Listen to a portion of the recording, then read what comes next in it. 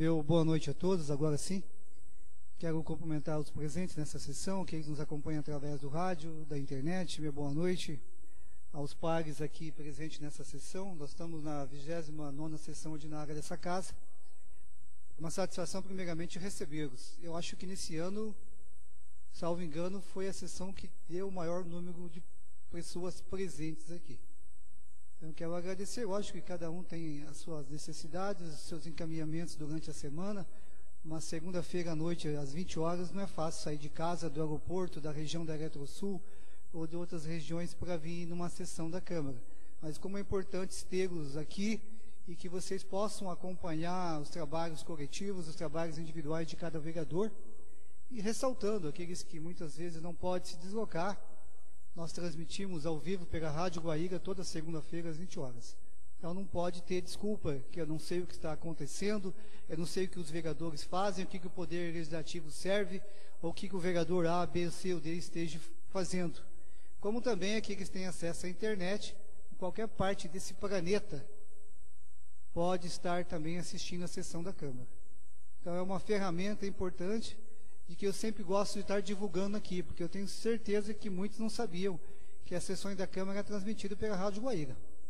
Muitos não sabiam que é transmitida ao vivo pela internet. E você pode estar interagindo através desse canal de comunicação da internet. Eu faço esse comentário inicial, dando as boas-vindas a todos. Primeiramente, me permite, eu não gosto de citar nomes, porque a gente sempre acaba esquecendo um ou outro, mas eu não poderia deixar de citar aqui a família Iguels, que está presente nessa sessão. Quero agradecer a todos os presentes, o seu Manuel, a dona Crair, a Tainá, a Craire, acho que é isso, o Tares, o João Batista, o famoso Batista, presidente daquela associação de moradores também, a Zilda e a Mônica. Quero fazer esse cumprimento especial porque hoje nós apresentamos uma indicação nessa casa. Já relatei isso quanto da passagem do falecimento da companheira, da amiga, da cidadã guairense Rosa.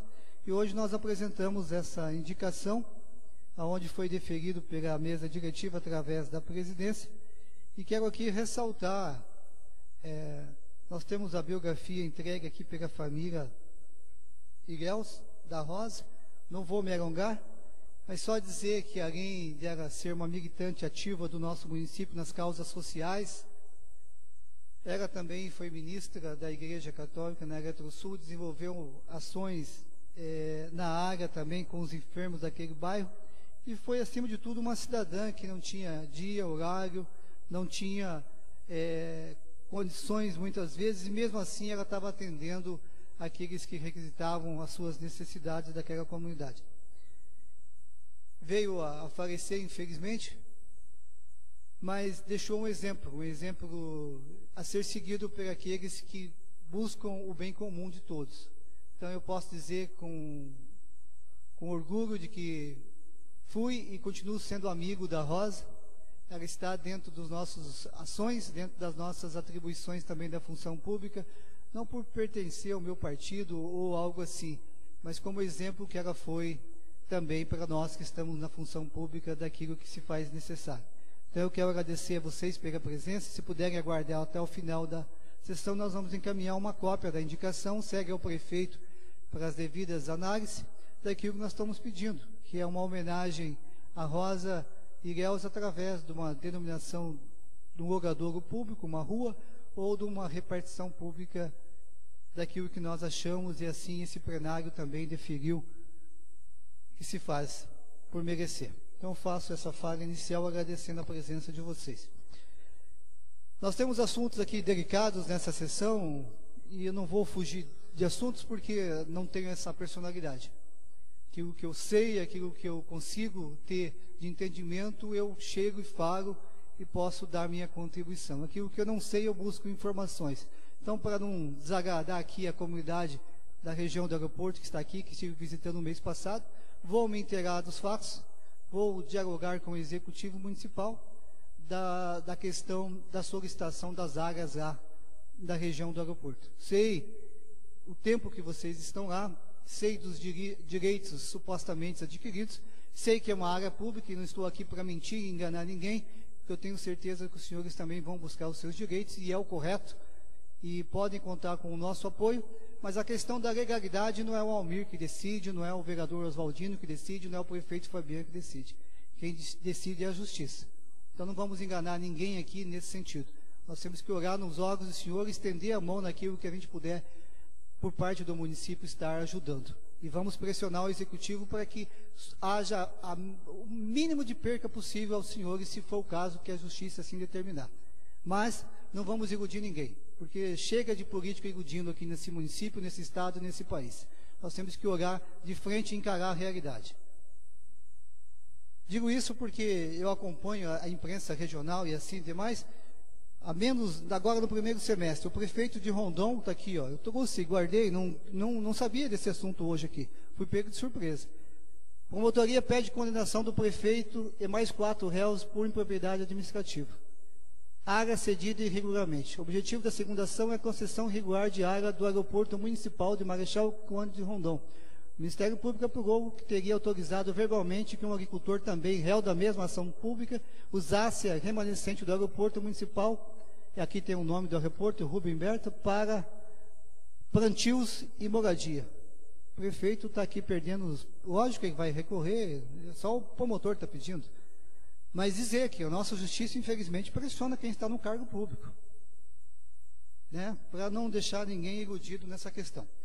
Mas nós vamos trazer informações na próxima sessão, assim que nós tivermos algo concreto.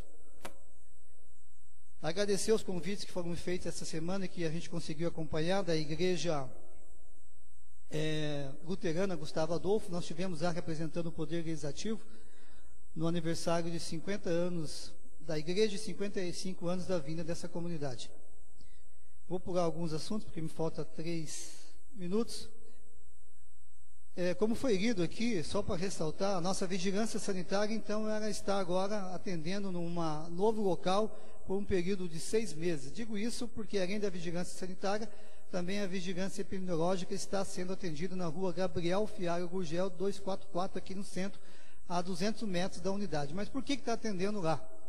Porque, através de um recurso do governo federal, o município está reestruturando e reformando aquele prédio público ali na esquina com a avenida principal do nosso município, no valor de 194 mil reais, para que possa, assim, melhor dar condições de trabalho e receber a todos. Então, segundo o julgo que é o responsável, vai uns seis meses, vereador Sandro e demais vereadores, para se construir a reestruturação e a reforma daquele prédio público que há muito tempo merecia essa reforma. Fique aí, então, essa informação dos recursos públicos que recebeu foi lido pelo senhor secretário, não vou aqui me estender, mas só ressaltar o valor de 373 mil do governo federal também, que é uma parcela lá da escola que está sendo construída em Bela Vista, uma escola municipal, com recurso do Ministério da Educação, e nesse sentido o valor é de 373 mil que está sendo recebido. Essa obra está parada há quase 40 dias devido à falta do repasse. E assim nós esperamos também que esses recursos lidos ali pelo senhor secretário possa estar sendo estendido nas demais obras que precisa dar continuidade ao nosso município. Foi falado aqui da sessão passada, acho que o vereador Stando trouxe a questão da necessidade da antiga Gar São Francisco, hoje a CMI Mário Ferraz, né? Dizer que já está em processo de, de projeto com um orçamento de 500 mil reais para a reforma daquela repartição, que o prefeito Fabian numa ação necessária, chamou para sua responsabilidade, porque senão hoje estaria fechada aquela repartição que a sociedade nossa, infelizmente, não tinha mais condições de estar administrando, e hoje era municipal. E nesse sentido, o município fez as adequações perante leis e também com os servidores que foram indenizados, e assim ninguém deu carote em ninguém porque se falisse aquela entidade, provavelmente aqueles servidores não teriam onde receber. E nesse sentido, nós temos que reconhecer que o município fez uma ótima ação e agora vai reformar e reestruturar. E também relatar aqui que foi dado ordem de serviço no mesmo critério da educação para a segunda etapa ali na frente do Menos Gonçalves para aquele centro de educação municipal no valor de 972 mil reais. O tempo já, já me foi, eu ia citar aqui o que vai ser feito, mas um minuto para as considerações finais, senhor presidente. Ok, vereador Almir, tem um minuto para as conclusões finais. É, também, com satisfação, nós podemos relatar agora de que o município abriu, através de um processo de licitação de modalidade de concorrência pública,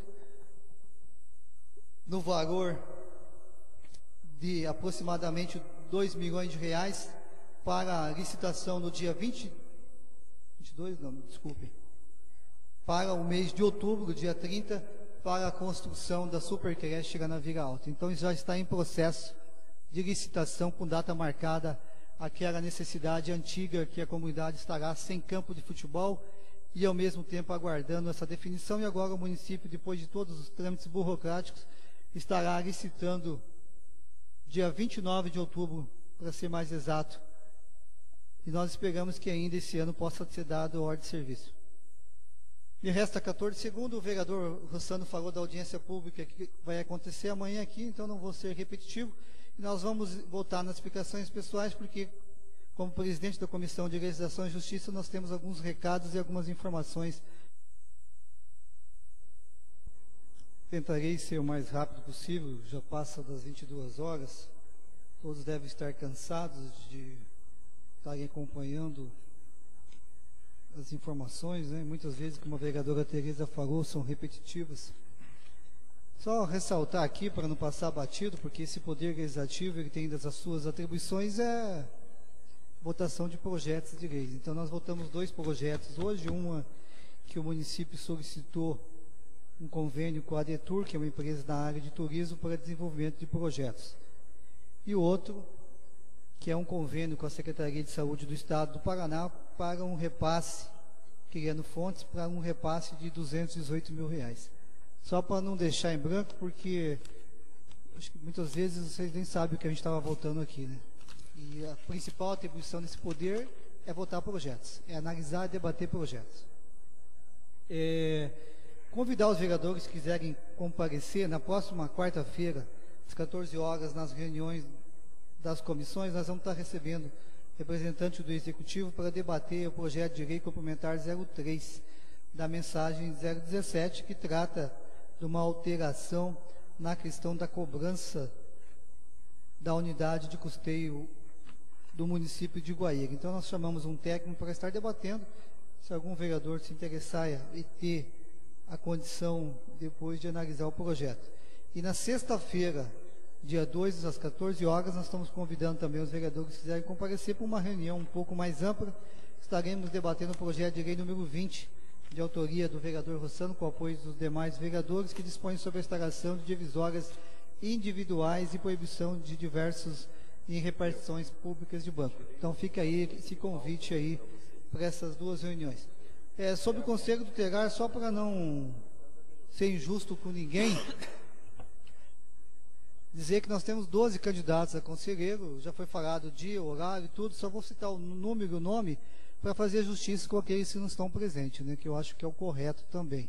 Número 1, um, Ana Cega, Ana Cega Tonelli Massambani. Número 2, Anderson Udeção. Número 3, Lucinéia Tadeu. Número 4, André do Conselho. Número 5, Pastor Adriano. Número 6, André Marque. Número 7, Fernanda Capati. Número 9, Zara.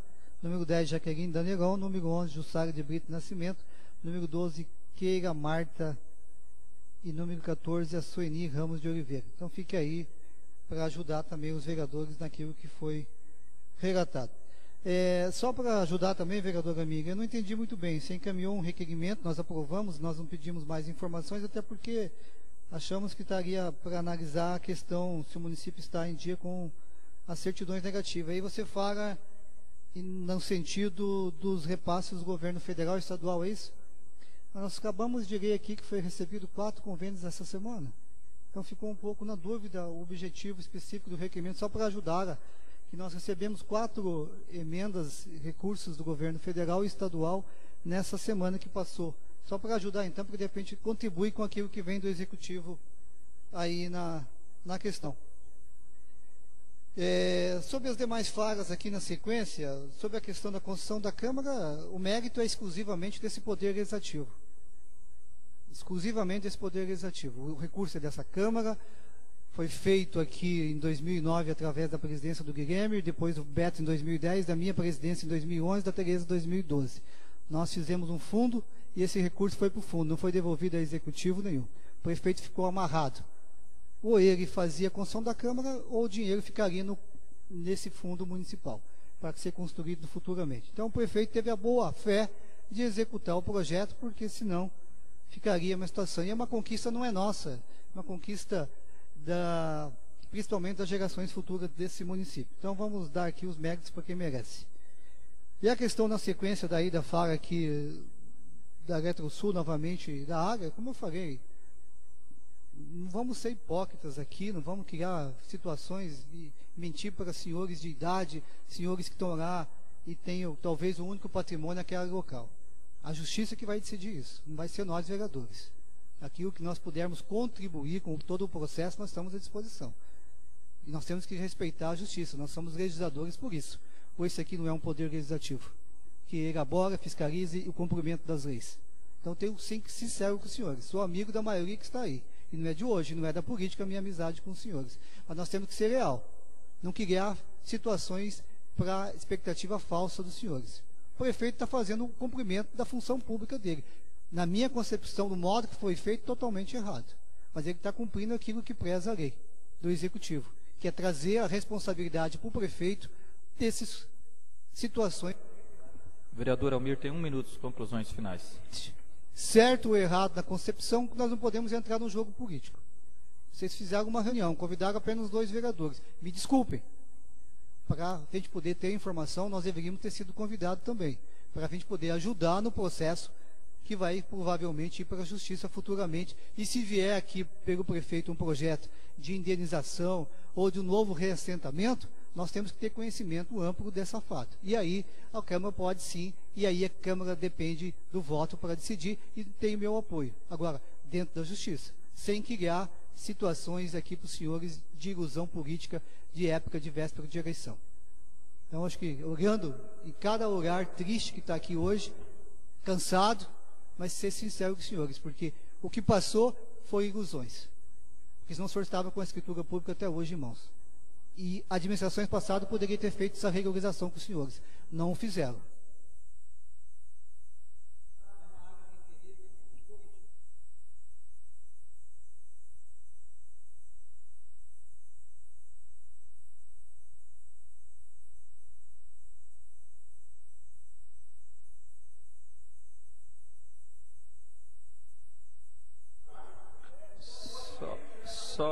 Peço silêncio, só peço silêncio, por favor, o, o plenário. Vereador Almir.